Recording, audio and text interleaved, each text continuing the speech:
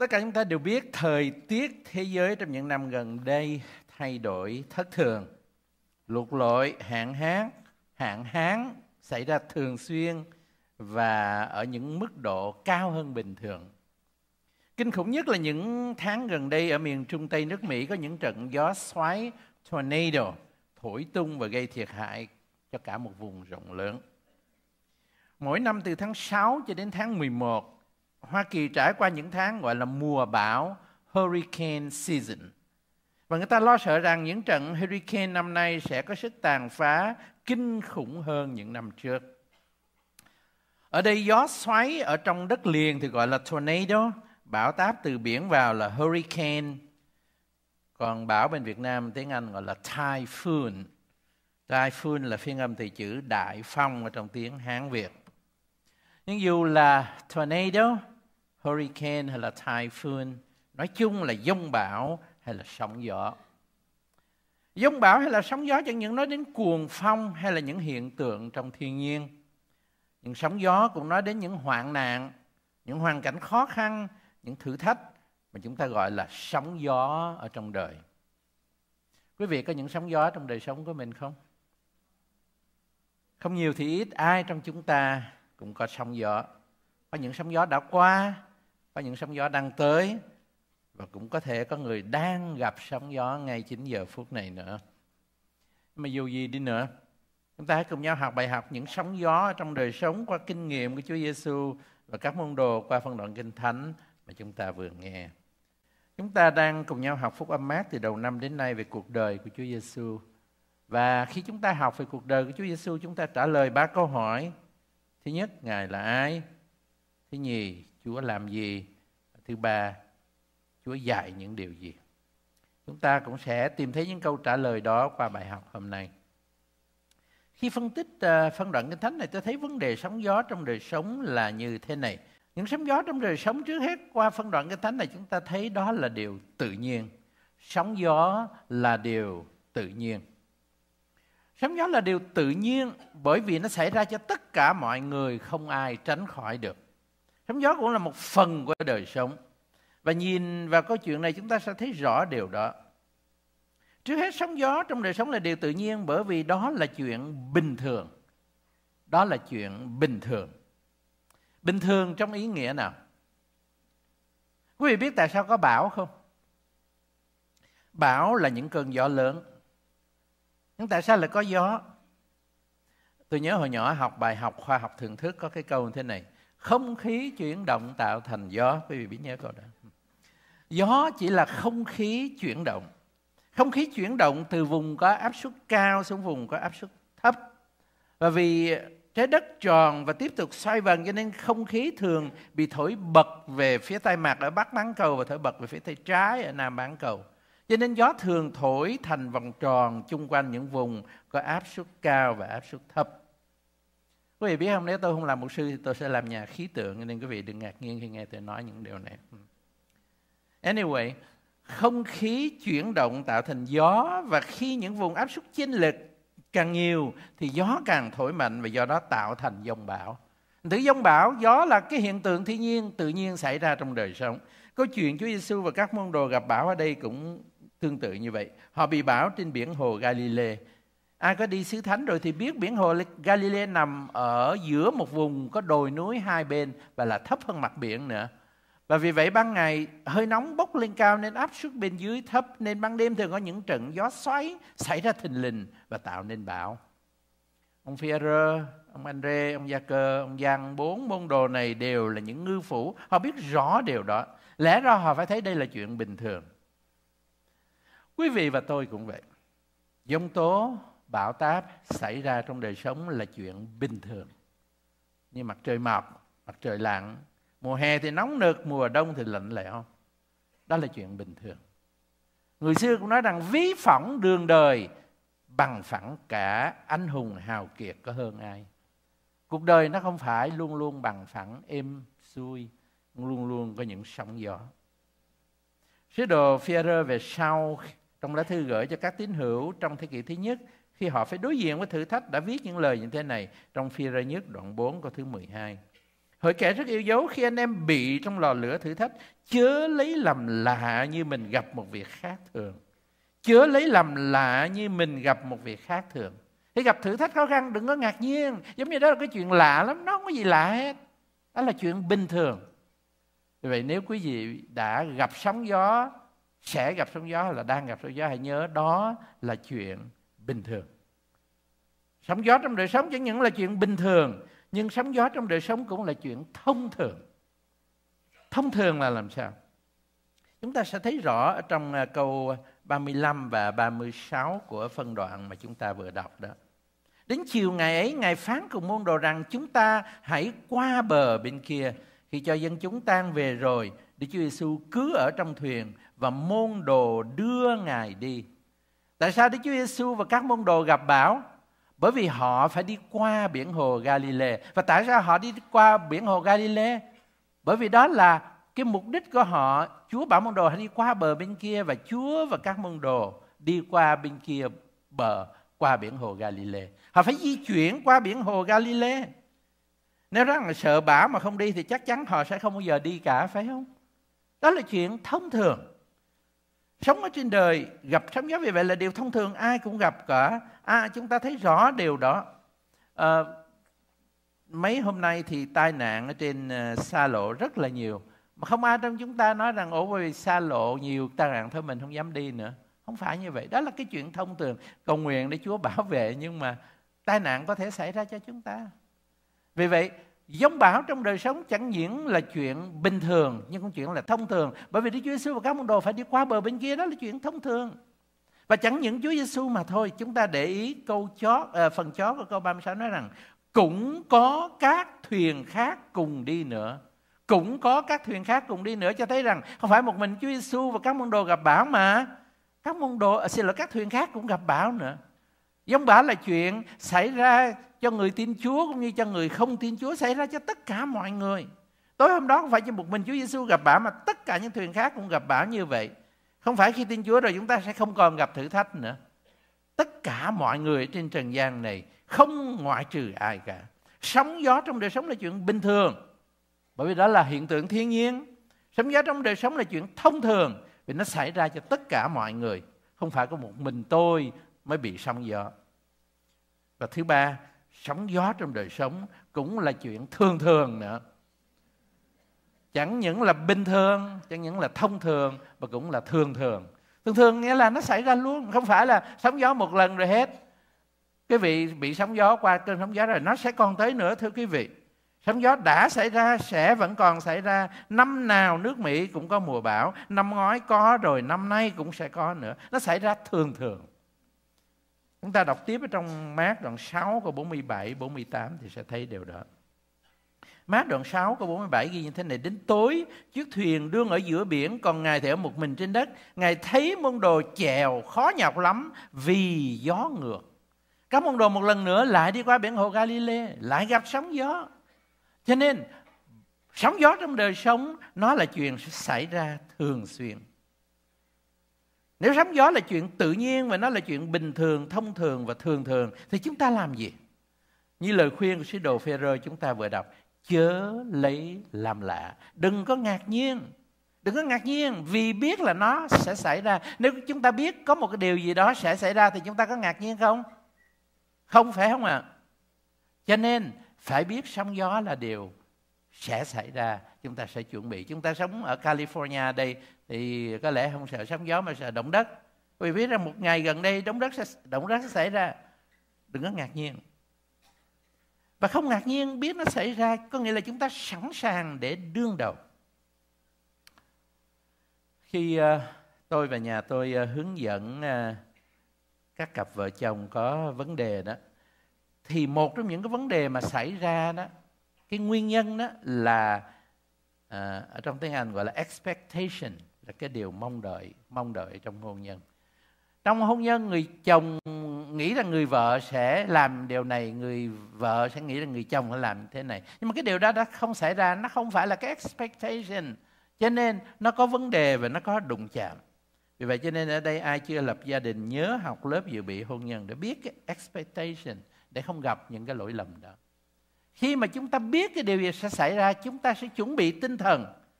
Sóng gió là điều tự nhiên sẽ sẵn sàng đương đầu và chuẩn bị tinh thần cho điều đó. Như vậy, nhớ khi gặp sóng gió, đó là chuyện tự nhiên, chuẩn bị tinh thần để mà đối đầu. Thứ nhì, sóng gió chẳng những là điều tự nhiên, nhưng mà sóng gió cũng là điều siêu nhiên. Chẳng những tự nhiên, nhưng cũng là điều siêu nhiên. Tại sao tôi gọi là siêu nhiên? Tự nhiên là nó, nó nó tự nhiên xảy ra mình hiểu được. Còn siêu nhiên là điều mình không thể hiểu được. Tự nhiên là hiểu được mà siêu nhiên không hiểu được. Siêu nhiên trong ý nghĩa là ngoài cái hiểu biết của chúng ta. Điều mà các môn đồ không hiểu được và có khi chúng ta cũng hiểu không hiểu được khi gặp sóng gió trên đời là cái việc này. Quý vị xem lại với tôi trong mát đồng 4 đó. Vả có cơn bão lớn nổi lên sóng tạt vào thuyền đến nỗi gần đầy nước. Đó là chuyện tự nhiên. Nhưng ngài đang ở đằng sau lái dựa gối mà ngủ. Cái điều siêu nhiên ở trong cơn bão này là chúa ngủ trong cơn bão. Tại sao chúa ngủ? Chúng ta không biết tại sao chúa lại ngủ trong hoàn cảnh này. Nhưng ít ra là vì hai lý do. Lý do thứ nhất là vì chúa không có gì để lo sợ cả. Chúa bảo các môn đồ làm gì? Đi qua bờ bên kia thì Chúa biết là mình sẽ qua bờ bên kia được. Chính Chúa ra lệnh và Chúa biết dù có dông tố bão táp đến đâu đi nữa thì Chúa sẽ đến nơi bình an. Chúa thường nói điều gì? Giờ ta chưa đến. Trong cái thời khóa biểu, trong cái chương trình của Đức Chúa Trời, Đức Chúa Giêsu sống trong chương trình của Đức Chúa Trời và nếu Đức Chúa Trời không cho phép thì không điều gì có thể xảy ra để hại Chúa được. Quý vị và tôi cũng vậy. Khi chúng ta sống trong chương trình và ý muốn của Đức Chúa Trời thì không một điều gì, không một hoàn cảnh nào dù là dông tố bão táp, một sóng gió nào có thể khiến cho chúng ta lo sợ. Chúa Giêsu bình an, sóng gió dựa vào sau gối mà ngủ. Đừng lại ngủ giờ này nhé. Lý do thứ hai, Chúa Giêsu ngủ là để dạy các môn đồ một bài học. Và đó là bài học đức tin. Chúa ngủ để dạy môn đồ bài học đức tin. Có những việc, có những vấn đề, có những bài học mà chúng ta không thể nào học được ngoài chính kinh nghiệm hay là phải trải qua cái điều đó. Ở đây có những việc làm mà người ta gọi là vừa học vừa làm. On the job training. Đức Chúa Giêsu đang huấn luyện, đang dạy cho các môn đồ bài học đức tin bằng cách để cho họ gặp bão mà Chúa thì ngủ. Chúa biết Chúa sẽ dẹp yên cơn bão chứ, nhưng mà Chúa để yên đó để cho các môn đồ học được bài học đức tin. Nhiều lúc Chúa cũng giống như ngủ như vậy trong đời sống của chúng ta. Có phải như vậy không? Chúng ta gặp nhiều hoạn nạn, đau thương quá, kêu cầu với Chúa hoài mà Chúa hình như vẫn ngủ. Chúa đâu rồi? Chúa yên lặng, Chúa ngủ để dạy chúng ta. Chúa không bao giờ từ bỏ chúng ta đâu thưa quý vị. Trong uh, sách Phục truyền luật lệ ký đoạn 32 có một cái hình ảnh rất là đẹp như thế này và tôi nghĩ rằng nó sẽ giúp chúng ta rất là nhiều khi chúng ta nghĩ rằng giống như Chúa ngủ rồi Chúa bỏ mình rồi. À, lãnh tụ môi xe sau 40 năm kinh nghiệm Chúa ở trong đồng vắng, ông viết những lời như thế này. Phục truyền đoạn 32 câu 11 và 12. Như phụng hoàng phấp phới giỡn ổ mình bay chung quanh con nhỏ mình xè cánh ra sớt nó và cõng nó trên chéo cánh mình thế nào thì một mình Đức Giê-hô-va đã dẫn dắt người thể ấy không có thần nào khác ở cùng người. Chim phụng hoàng là là con uh, phượng hoàng eagles. Quý vị biết những con chim phụng hoàng nó sống ở đâu không? Nó sống ở những cái tổ rất là cao trên núi, những chỗ nào vách đá chinh ven nhất để làm tổ ở trên đó. Và khi con phượng hoàng mẹ nó có những con phượng hoàng con nó, nó phải tập cho mấy con nó bay. Thì nó tập cho con nó bay như thế nào? Hình ảnh kinh thánh ghi tại đây. Như phụng hoàng pháp phới giỡn ổ mình giỡn này là nó rung cho cái ổ. Cho mấy con phượng hoàng con nó, nó rớt xuống. Thì con mấy con phượng hoàng con cái cánh nó nhỏ bé nó nó không có bay được. Nó chưa bay được. Nhưng mà khi nó bị rớt xuống thì cái phản ứng tự nhiên là nó phải đập cánh mà bay thôi. Dĩ nhiên nó sẽ bay không nổi. Nhưng mà khi nào mà nó bay không nổi thì con con phượng hoàng mẹ làm gì? Bay ở dưới xe cánh ra để cái con phụng hoàng con nó rớt ở trên cánh của mình. Thưa quý vị, đó là hình ảnh mà chúa dạy chúng ta. Nhiều khi chúa xô chúng ta vào những hoàn cảnh khó khăn vô cùng. Chúng ta không biết làm gì.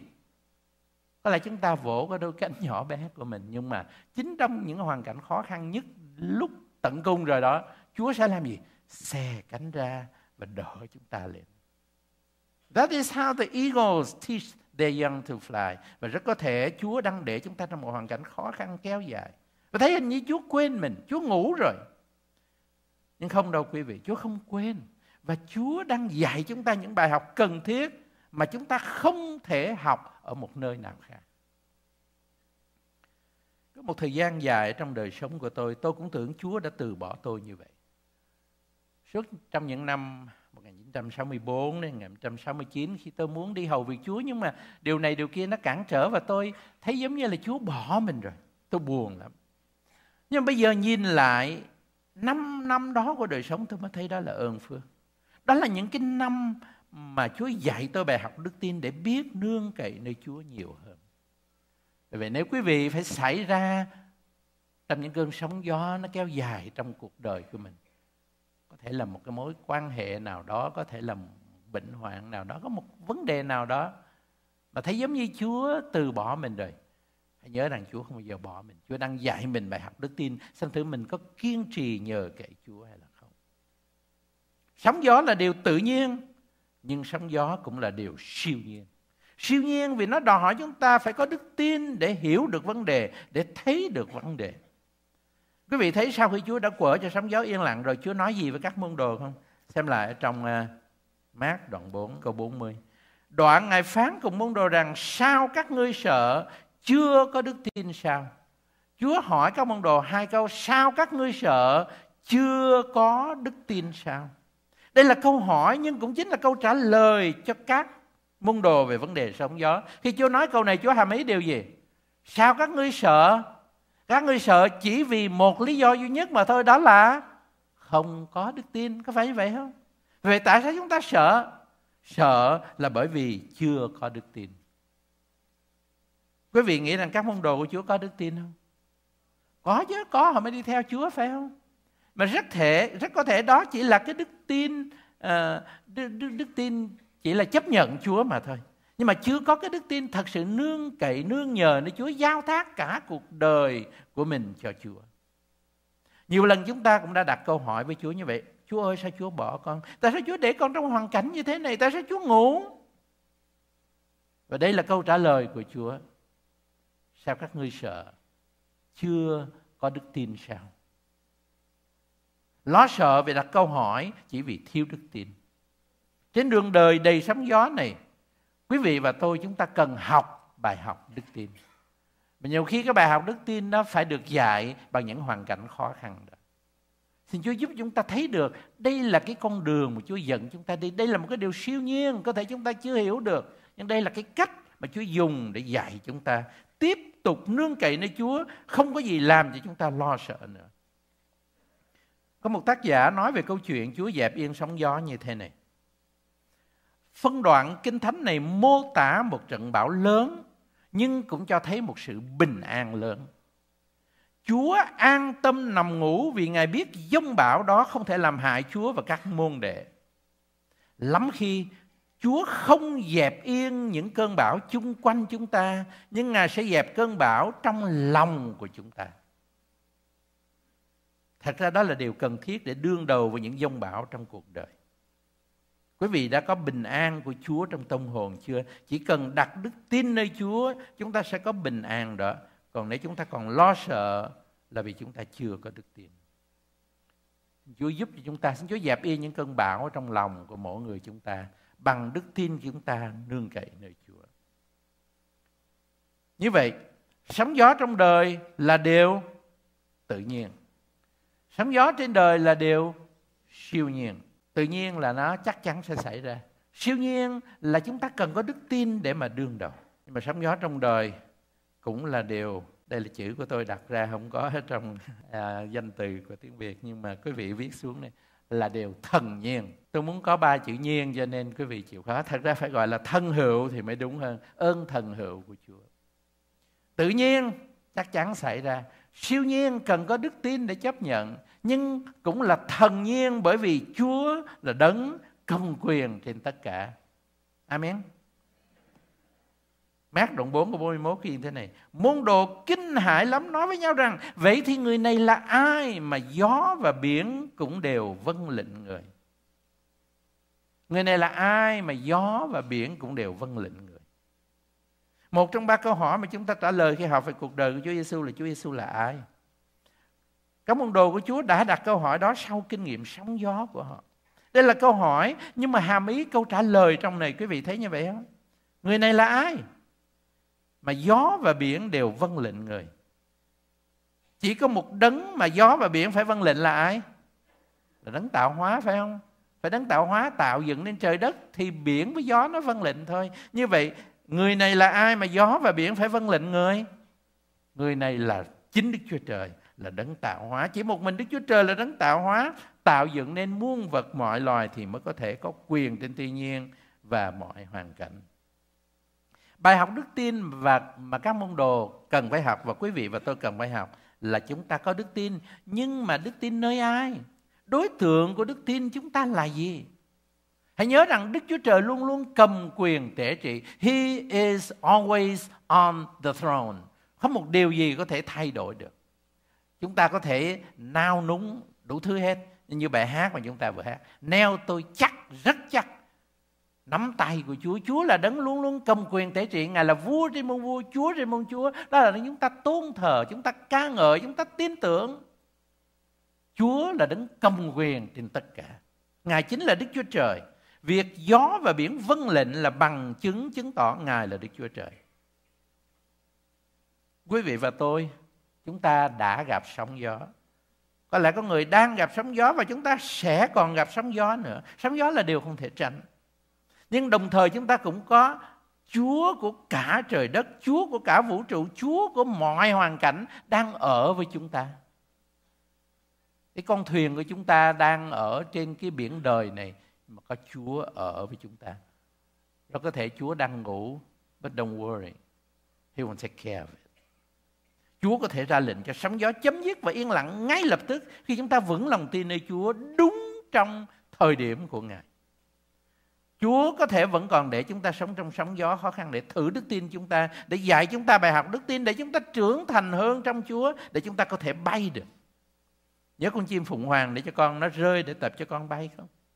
Có thể Chúa đang để cho quý vị rơi để chúng ta học bài học mà chúng ta không thể học một nơi nào khác, một hoàn cảnh nào khác.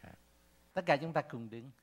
Kính là Đức Chúa Trời là Chúa của cả vũ trụ trời đất này.